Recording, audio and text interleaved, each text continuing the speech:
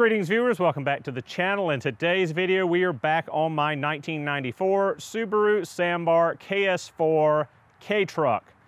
In one of the very first videos I did on this little imported Subaru mini truck, I went over every single thing I found wrong with it. And amongst all of the things I found wrong, which there wasn't terribly many, but one of the things was the rear shocks were blown out. They were leaking hydraulic fluid and needed to replace those. And in today's video, that's what we're gonna be doing. Finally got in some KYB shocks from Japan and we are going to be upgrading the ride quality of this little truck. First things first, we need to jack the back of the truck up and get it supported on jack stands. The lift point is underneath the plate for the rear differential slash transaxle.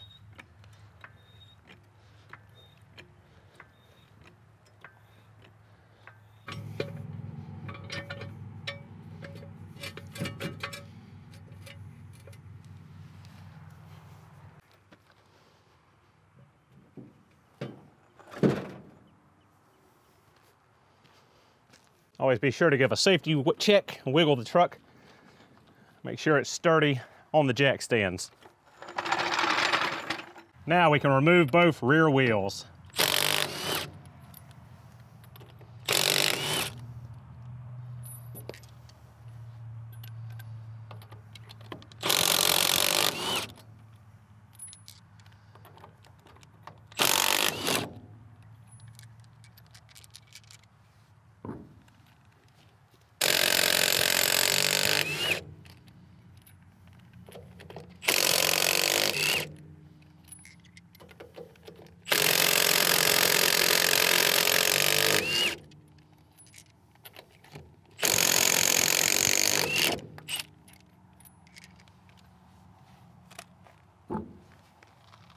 First, we'll remove the upper 17 millimeter bolt, 17 millimeter headed bolt. Good to support that before you let that drop down. So top of our shock absorber is freed. Now for our bottom mount, that is a 14 millimeter nut and a 14 millimeter headed bolt.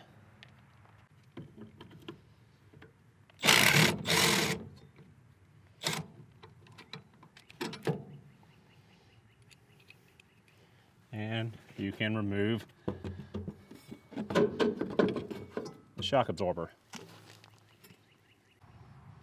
And we repeat the process on the passenger side.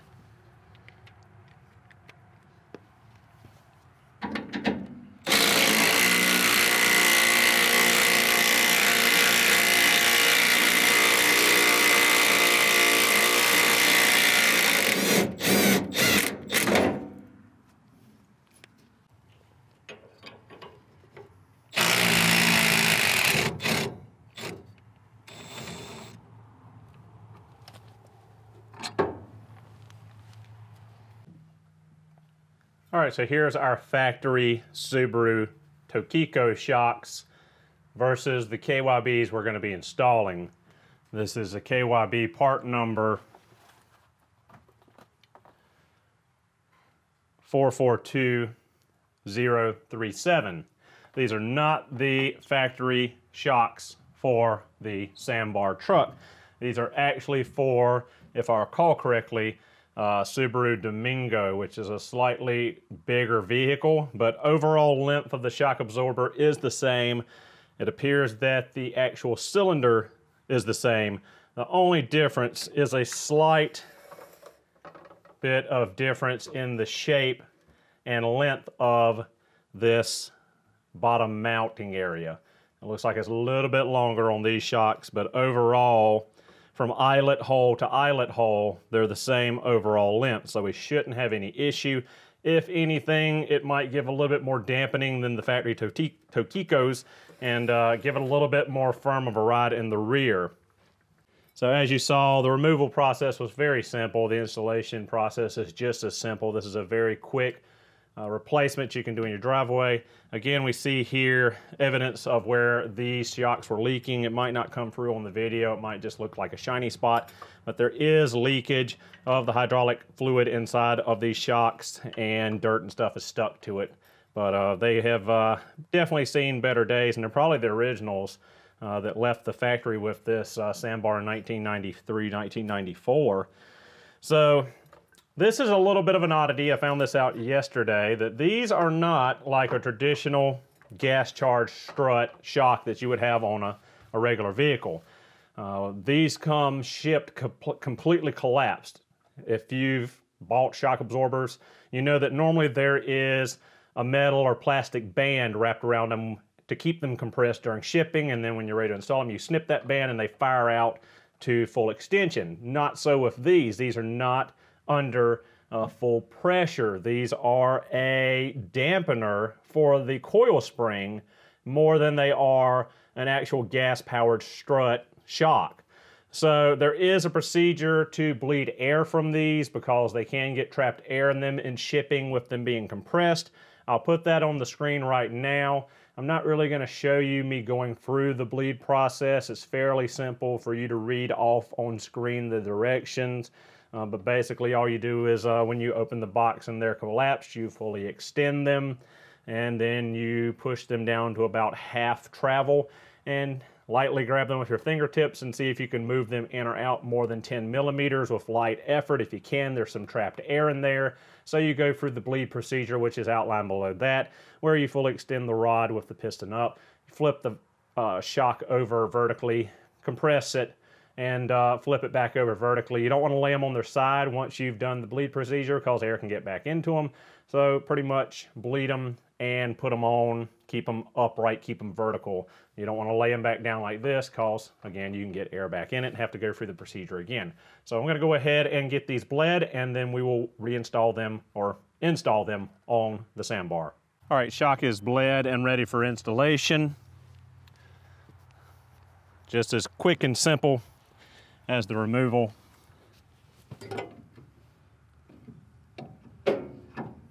Center yourself up on the eyelet. Run your bottom bolt and nut through, or bolt through and attach the nut. Now we will need to take our floor jack and jack up on the bottom of the control arm uh, to get this in. Uh, then we will need to jack the control arm up to fully collapse the suspension just into the point that we start picking up off of the jack stand. At that point, we can go ahead with the torque wrench and torque the upper bolt and torque the lower nut and bolt. The suspension has to be loaded before torquing it.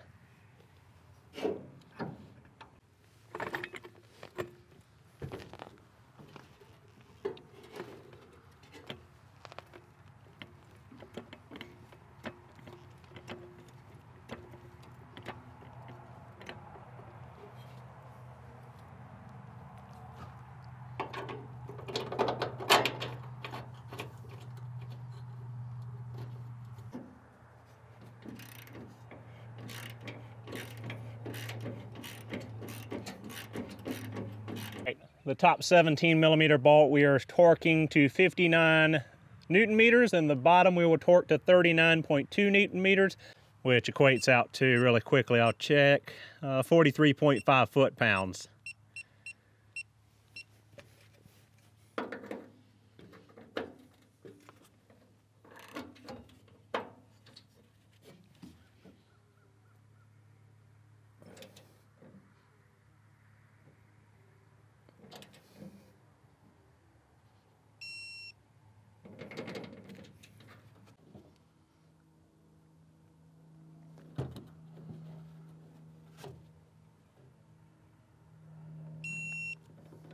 So now that's done, we can go ahead and relieve our pressure from our jack, let the suspension release, put the weight of the truck back on that jack stand for safety, and move to the driver's side.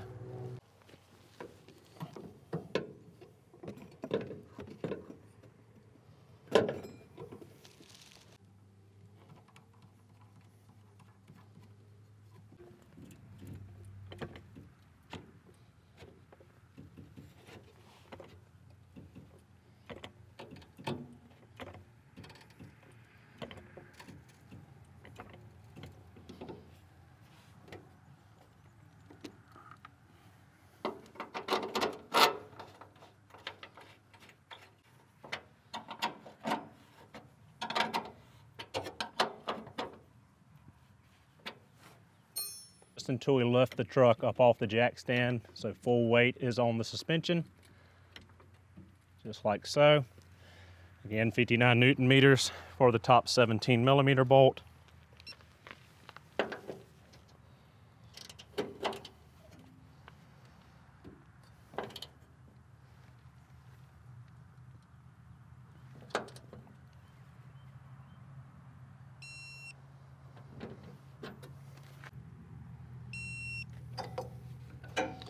and release the jack.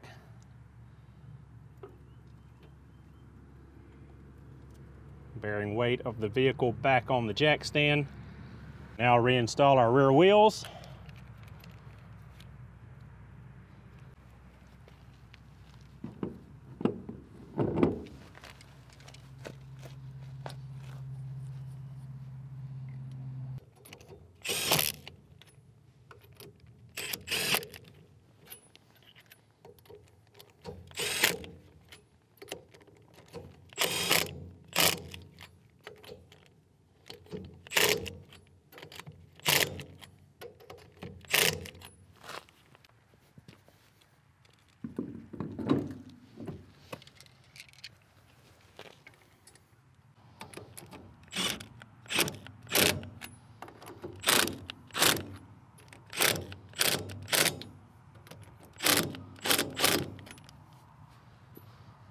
We can jack the truck up, take the jack stands out from under it, and lower it to the ground.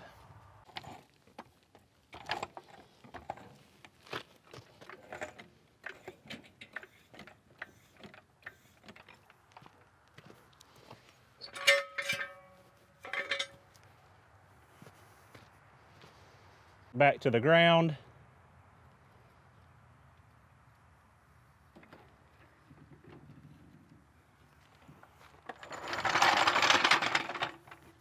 Now go through and retorque your wheel nuts to 120 Newton meters or I think it's 88.5 foot-pounds.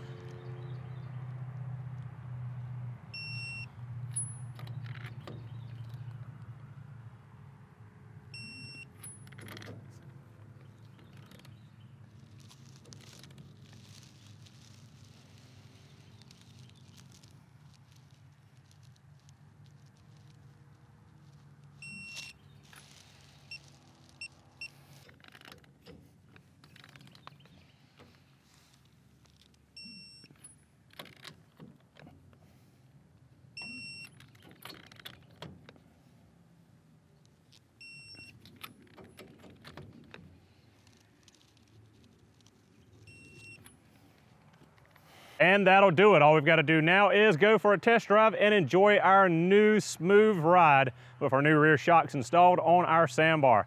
Thank you guys so much for watching. Hope you enjoyed the video and I will see you in the next one.